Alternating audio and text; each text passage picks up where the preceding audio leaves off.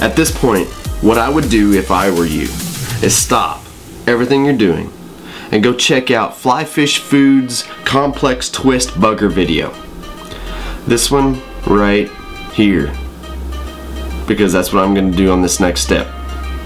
And I'm not going to explain it.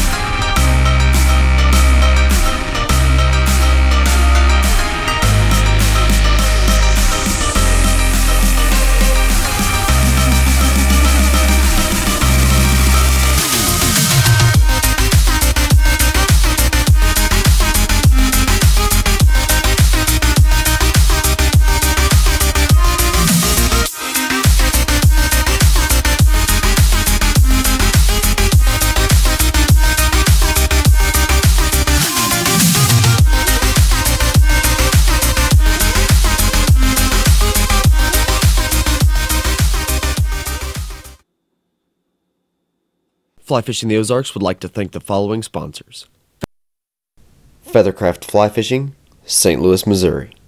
Simms, choice of professional guides worldwide. Loon Outdoors, fishing with a conscience. Montana Fly Company, Columbia Falls, Montana. Hareline, distributors of the best fly tying products in the world. Flymen Fishing Company, the next generation in fly tying products.